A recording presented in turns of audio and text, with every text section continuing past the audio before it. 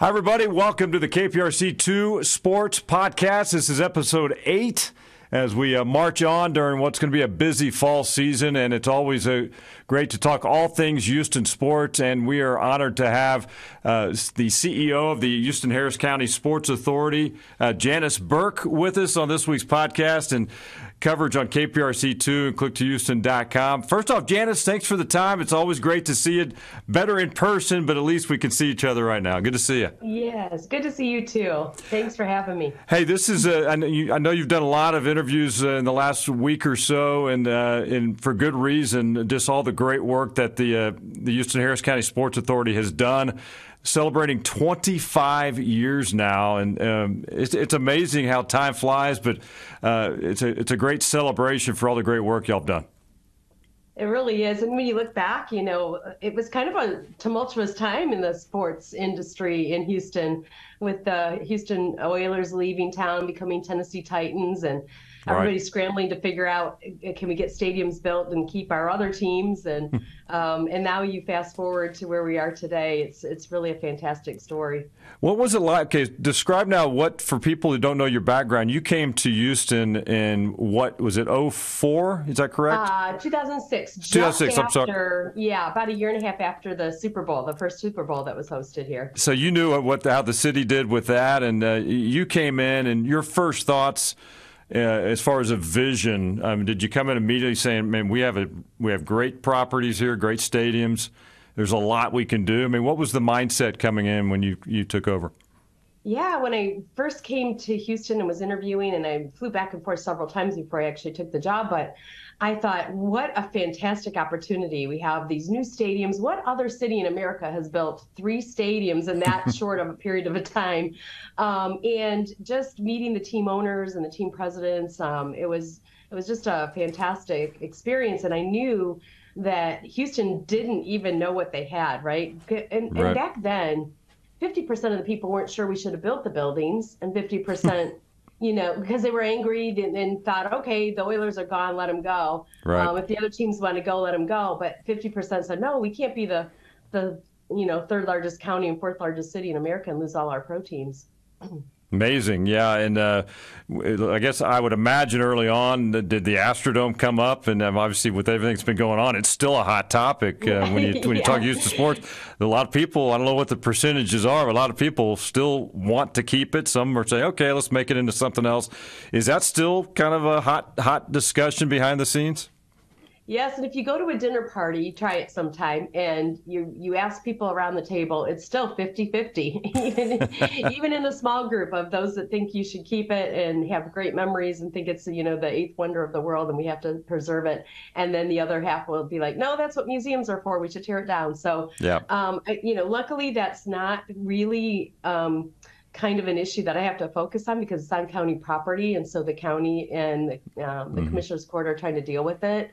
But I do say to people all the time, the next time we build a new stadium, let's figure out what we're going to do with the old ones first. that that's a good approach to have right there.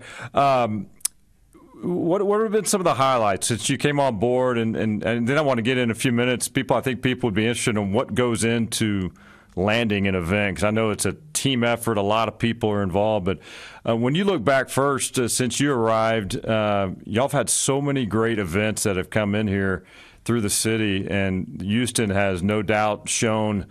Uh, that uh, that we know how to host big events in uh, the world when needed too. So, what what stands out to you during the last 25 years as some of the, the high points?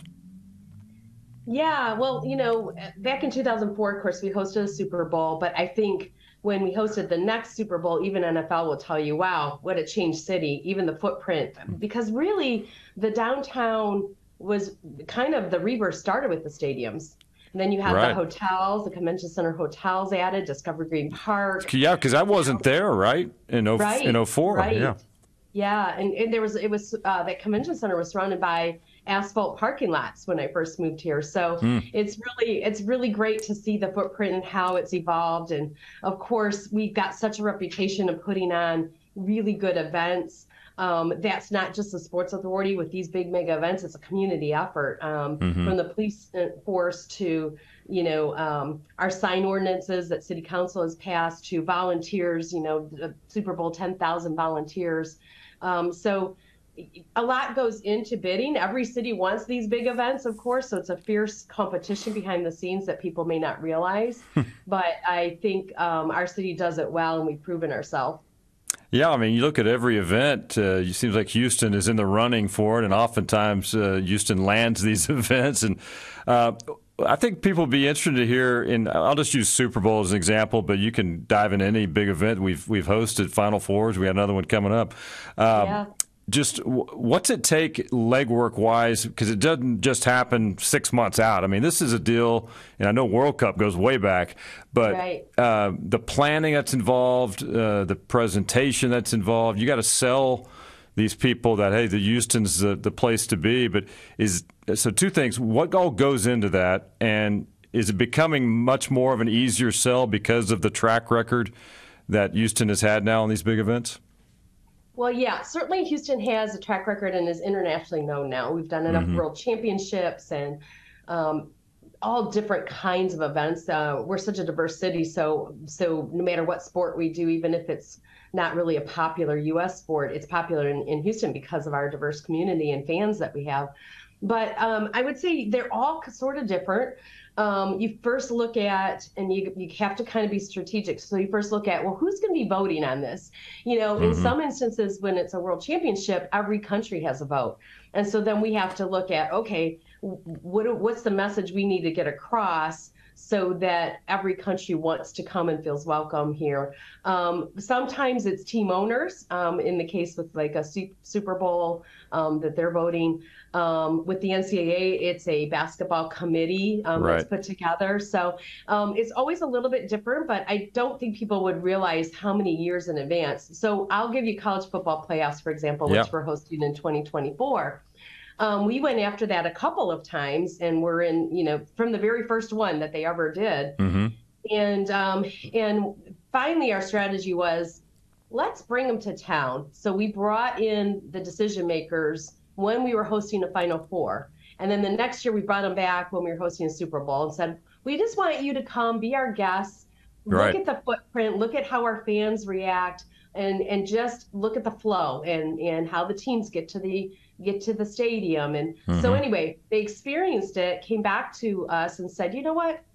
We're going to not do put this out to bid. We want to give Houston the opportunity. We're going to do a closed door behind the scenes one-on-one negotiation. If we can get there, great. If we can't, then we'll go out to bid. Mm-hmm. So sometimes um, that's the case uh, as well. So it just uh, really depends on the on the group that we're bidding for. So this is going to be uh, on the the CFP. This is going to be the y'all landed it now for 24, but y'all had two previous tries. It just didn't work out, and this is the one that did. So right, you got, to right. be so persistent, Dallas, don't you? Yeah. Yeah, yeah. So Dallas hosted the very first one, and, right. and we were in the mix. Um, and of course, no one knew how that first one was going to go, or you know, uh, we weren't sure could we make the budget work because a lot of times when it's right. a first, you're also trying to balance that budget um, so that you can make make sure that you can put the event on successfully. That's that's awesome, and uh, I'm, I'm sure similar stories with the likes of the Super Bowl, and you mentioned you're dealing with owners. You got to get the, the right vote.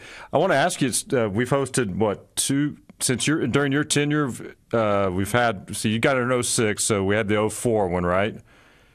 And then, um, yeah, so we've had two Super Bowls in Houston, not during my tenure, one during my tenure. And Greg it. Grissom, the president of the Texans, and I were just talking about what's that next year that we should bid. And yeah. we've already put our name in for future years that we'd like to look at. Good. I was going to ask you what, uh, you know, when, when you do that, obviously the, the results were, were, were well uh, accepted and well received when when Houston hosted the, the job you guys did and the city did. Um, when you see the competition, obviously you wouldn't go after it unless you felt like you could land something. I would imagine that's the approach going in. Uh, but the competition continues to to improve out there when cities have built new stadiums, so on and so forth. What's the selling point to get yet another one? Do you think here in Houston down the road? Yeah, I think we can never sit back and just rest on our laurels. We always have to be reinventing ourselves and, and what how are we mm-hmm. going to put Houston's fingerprint on it, right? Sometimes the legacies that we come up with in Houston live live far beyond the year that we host. Right. An example of that is the the um, men's Final Four that we'll be hosting next year, we started the Read to the Final Four program, which is, mm-hmm. you know, all the kids that log in and um, you do the bracket that follows along with the March Madness um, right. bracket, and and and you finally get down to the the Final Four schools that have logged the most, you know, reading um, minutes um, that the kids have put in, and then finally, you know, school wins. But that started in Houston and then every city was required to do it um, going forward. And now it's come back to us, and we're like, wow, this program has really grown. We need a full time person working on this. There you go. Um, so, so then you know, what's the next thing that we want to put our fingerprint on or or add to the event to enhance it? Yeah, well, I guess uh, that's what the team's working on now. So. Right. As we wrap it up here, you got uh, you know World Cup on the down the road in twenty. I mean, uh, put that in just if you can, just for folks that that don't know how big a deal this is in so many areas. Landing, uh, becoming a World Cup host city, what's what's that going to mean? Big picture for Houston. I mean, if you look at the Super Bowl, a one-time event, a week worth of activities, you know, estimated around 350 million dollars of economic impact to the city. Wow! And you take this, um, and it's five or six matches that last for 35 days. Um, you can do the math. It's it's huge for our city and um, yeah. world's largest sporting event coming to Houston. How great is that? Um, I think we've proven ourselves. We've earned it. We've worked really hard for that win. We weren't even at the table in '94 before when when it was yeah. uh, hosted last time. So that, that's awesome. Well, I know a lot of people can't wait for that. I know you and your team, Chris Canetti, and everybody involved. Uh, a lot of work to do, I know, but uh, the countdown is on certainly to 2026. Well, I know it's been a fantastic 25 years. I know it's worth celebrating, and uh, I know part of your team. I think somebody's thrown out the first pitch at a baseball game and really yeah. rec- get the recognition that y'all deserve. And uh, I know the city is proud of all these great events that have come to uh, to H Town and uh, I appreciate all you and all your team and the great work with the uh, Houston Harris County Sports Authority. So keep it up, and congratulations, 25 years. That's a great milestone, and I know y'all have uh, bigger and better things uh, uh, lying ahead for our city. Yeah, I can't wait for the next 25. Thanks so much, Randy. you bet. Janis, great to see you. Look forward to uh, run, crossing paths with you down the road as we get ready for some of these big events. Thanks for hanging out with us today on the podcast. Sure. All right, that is Houston Harris County Sports Authority uh, CEO Janis Burke. Janis, again, thanks for the time. And again, big events coming up. You got the Final Four here in Houston uh, in the spring. Down the road, we've got uh, potentially a Super Bowl if they bid for that, and of course, 2026, the uh, World Cup coming to Houston. So that's a look at our uh, podcast for today, episode eight. Thanks for hanging out with us here. We'll do it weekly here on KPRC two. I'm Sports Director Randy McIlvoy. We will talk to you next week.